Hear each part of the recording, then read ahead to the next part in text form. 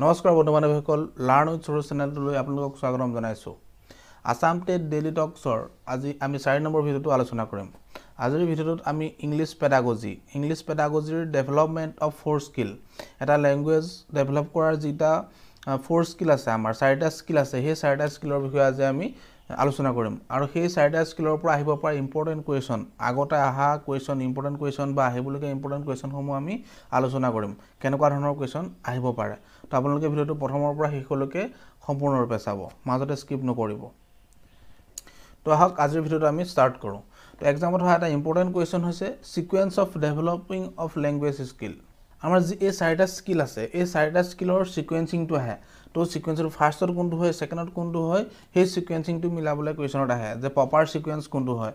তো যিটো proper sequence হয় প্ৰপাৰ ছিকুৱেঞ্চ প্ৰথমতে আহিব আমাৰ লিচেনিং লিচেনিং স্কিল তাৰপিছত আহিব স্পিকিং স্কিল তাৰপিছত আহিব ৰিডিং স্কিল তাৰপিছত আহিব ৰাইটিং স্কিল তো এক্সামত এটা কুৱেশ্যন আহে যে যিটোৰ আমাৰ স্কিল ডেভেলপিং অফ লেংগুৱেজ স্কিলৰ প্ৰপাৰ যিটো ছিকুৱেঞ্চ হয় সেইটো কি হয়?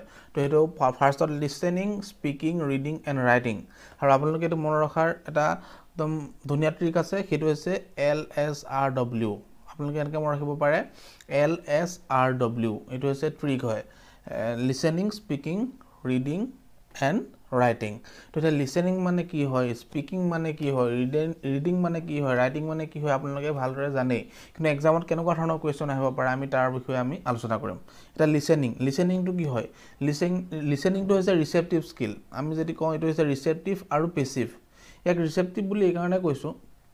লিচেনিং মানে কি হয় আমি যিটো শুনাৰ স্কিল বেলেগৰ কথাটো আমি যেতিয়া শুনি পাওঁ হয় সেই শুনাৰ যিটো স্কিল আমি তাক লিচেনিং বুলি ক'ম তো লিচেনিং স্কিলত আমাৰ যিটো আমি আমি এক্টিভলি পাৰ্টিচিপেট নকৰোঁ। আমি বেলেগে কোৱা কথাটো শুনো আমি ৰিচিভ কৰোঁ।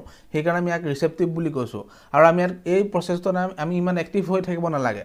আমাৰ ইমান এক্টিভ হোৱাৰ প্ৰয়োজন নাই। সেইকাৰণে আমি ইয়াক প্ৰেচিভ প্ৰচেছ বুলি কৈছোঁ।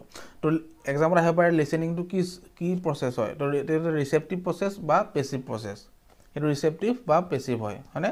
তো নেক্সট হৈছে স্পিকিং তো স্পিকিংটো কি হয়? স্পিকিংটো হৈছে প্ৰডাক্টিভ আৰু ক্ৰিয়েটিভ এতিয়া স্পিকিংটো কি হয়?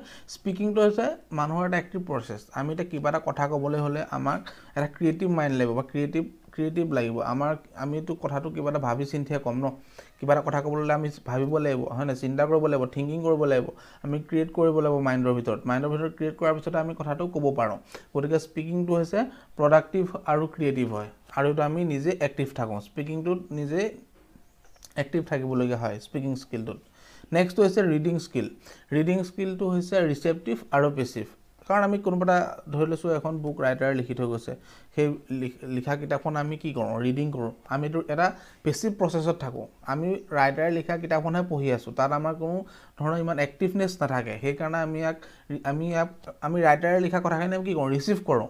সেইকাৰণে আমি ইয়াক ৰিচেপ্টিভ বুলি কওঁ বা আমি পেচিভ বুলি কওঁ ইয়াক ৰিডিং স্কিলটো নেক্সট হৈছে ৰাইটিং ৰাইটিংটো হৈছে প্ৰডাক্টিভ বা ক্ৰিয়েটিভ কাৰণ আমি কিবা এটা বস্তু ধৰি লৈছোঁ আমি কিতাপখন পঢ়িলোঁ।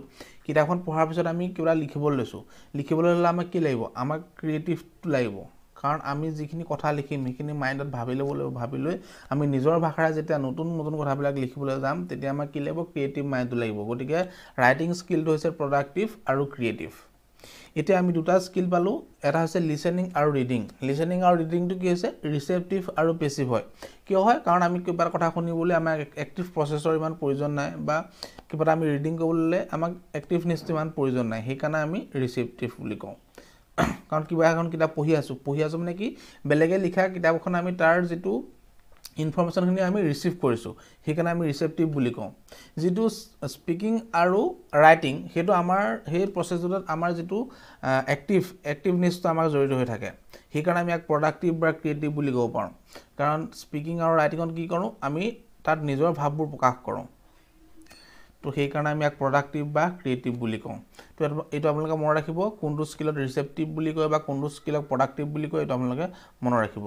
আৰু এক্সামৰ কাৰণে বহুত ইম্পৰ্টেণ্ট হয়। এতিয়া হ'লে ৰিডিং স্কিল ৰিডিং স্কিলৰ বিষয়ে আমি পঢ়িব লাগিব। কাৰণ ৰিডিং স্কিলৰ পৰা এক্সামত প্ৰায় কুৱেশ্যন আহে। আমি ইয়াৰ কিছুমান কিৱৰ্ড আছে সেই কিৱৰ্ড কিৱৰ্ডখিনি আমি মনত ৰাখিব লাগিব। তো ৰিডিং স্কিলৰ এটা প্ৰচেছ হৈছে স্কিমিং ৰিডিঙৰ এটা টাইপ হৈছে স্কিমিং তো এই স্কিমিংটো কি হয় আমি তাক পঢ়িব লাগিব। স্কিমিং মানে কি হয় reading rapidly for the main points আমি যেতিয়া কোনোবা এটা লিখা টপিকৰ মেইন পইণ্টছটো পঢ়িম। অকল মেইন পইণ্টটো পঢ়োঁ আমি তাক কি বুলি কওঁ স্কিমিং বুলি কওঁ। ৰিডিং ৰেপিডলি আমি যেতিয়া কোনোবা এটা বস্তুৰ মেইন পইণ্টখিনি খৰকৈ মেইন পইণ্টখিনি গেডাৰ কৰোঁ বা ইনফৰ্মেশ্যনটো গেডাৰ কৰোঁ আমি তাক কি বুলি কওঁ স্কিমিং বুলি কওঁ। আৰু এই স্কিমিং প্ৰচেছত সেই লেখাটোৰ বা সেই টপিকটোৰ প্ৰতিটো ৱৰ্ড যে আমি বুজি পাব লাগিব তাৰ কোনো কথা নাই সেইটো এচেঞ্চিয়েল নহয়। আমি জাষ্ট অনলি ইনফৰ্মেশ্যনটো মেইন ইনফৰ্মেশ্যনটো পাবলৈ আমি তাক পঢ়োঁ। আৰু প্ৰচেছটো ৰেপিডলি কৰা হয় স্কিমিংটো তাৰপিছত আহিলে স্কেনিং স্কেনিংটো কি হয়? নেক্সট হৈছে স্কেনিং স্কেনিং আৰু স্কিমিঙৰ মাজত আপোনালোকে ডিফাৰেঞ্চটো আপোনাৰ এতিয়া মই এইটো কৰিলে গম গম পাব। তো reading rapidly through' text to find specific information এইটো ৰিডিংটো ভুল হৈ আছে এইটো আৰ ই এ হ'ব লাগিছিলে। তাৰ কাৰণে চৰি এইটো খৰগ লিখাৰ কাৰণে হ'ল মোৰ এইটো।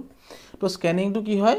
Reading rapidly through' text to find specific information আমি যেতিয়া কোনোবা এটা লেখাৰ বা কোনোবা এটা টপিকৰ এটা স্পেচিফিক ইনফৰ্মেশ্যনৰ কাৰণে আমি পঢ়োঁ যিকোনো এটা স্পেচিফিক ইনফৰ্মেশ্যনৰ কাৰণে আমি পঢ়োঁ তেতিয়া আমি তাক স্কেনিং বুলি কওঁ। আমি ধৰি লৈছোঁ এটা লেখা আছে লেখাত সকলোবিলাক ৰাষ্ট্ৰীয় উদ্যানৰ নাম লিখা আছে। ৰাষ্ট্ৰীয় উদ্যানৰ বিষয়ে লিখা আছে তাৰ নাম লিখা আছে। আমি তাৰ মাজতে আমি সেই লেখাটোৰ মাজতে উলিয়াব লাগে যে আটাইতকৈ ডাঙৰ ৰাষ্ট্ৰীয় উদ্যানখন কোনখন হয়। তাত তাৰ মাজতে আছে আটাইতকৈ ডাঙৰ ৰাষ্ট্ৰীয় উদ্যানখন কোনখন হয়। সেইটো জানিবৰ কাৰণে আমাক গোটেইখিনি পঢ়াৰ কোনো প্ৰয়োজন নাই। আমি জাষ্ট চকুৰে ফুৰাই যাম এফালৰ পৰা ফুৰাই যাম মানে স্কেন কৰিম আমি যিটো কওঁ স্কেন কৰিম সেই স্কেন কৰি যিটো আমি স্পেচিফিক ইনফৰ্মেশ্যন লাগে আমাক কি ইনফৰ্মেশ্যন লাগে? যে সেই আটাইতকৈ ডাঙৰ ৰাষ্ট্ৰীয় উদ্যানখন লাগে। তো সেই আটাইতকৈ ডাঙৰ ৰাষ্ট্ৰীয় উদ্যানখন আমি বাছি উলিয়াম সেইটোকে আমি স্কেনিং বুলি কওঁ।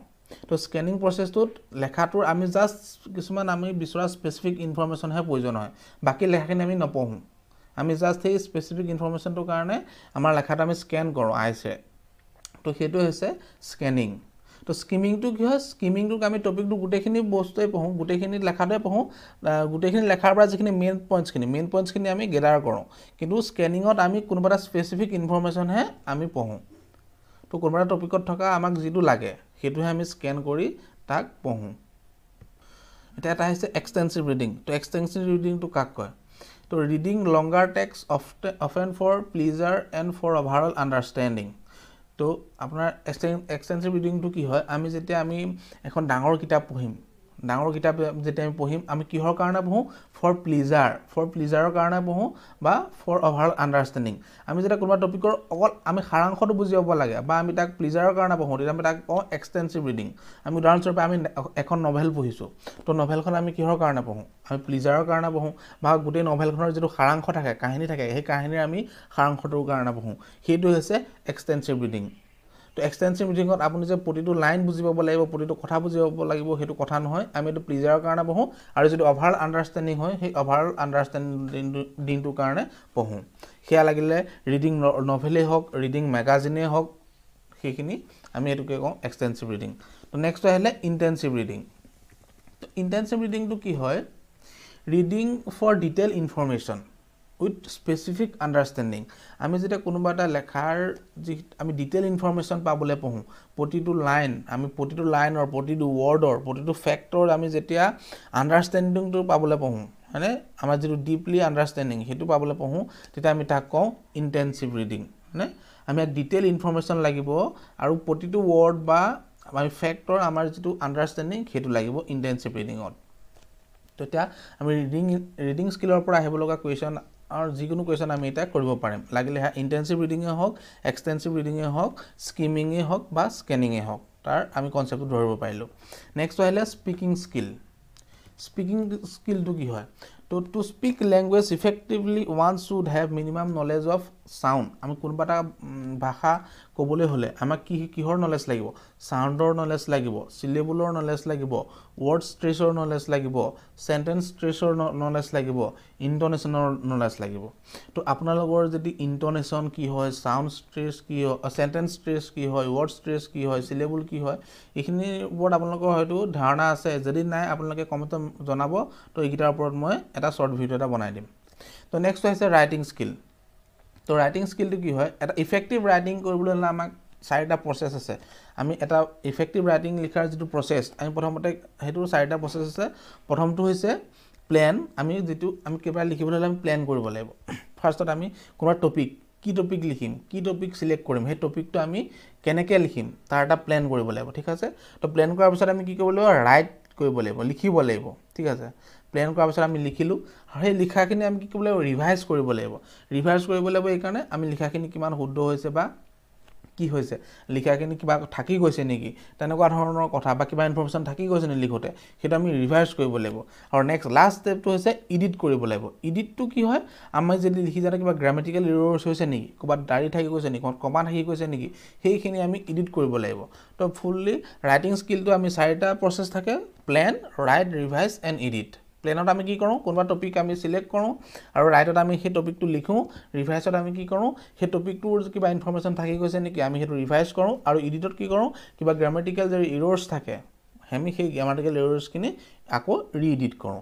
এইটো হৈছে ৰাইটিং প্ৰচেছ তো আশা কৰোঁ আপোনালোকৰ এই ভিডিঅ'টো বহুত হেল্পফুল হ'ব আপোনালোকৰ ইংলিছ পেডাগজিৰ যিটো ডেভেলপমেণ্ট অফ ফ'ৰ স্কিলৰ কাৰণে। তো ইয়াৰ পৰা অহা যিকোনো কুৱেশ্যন আপোনালোকে কৰিব পাৰিব বুলি মই আশা কৰিছোঁ।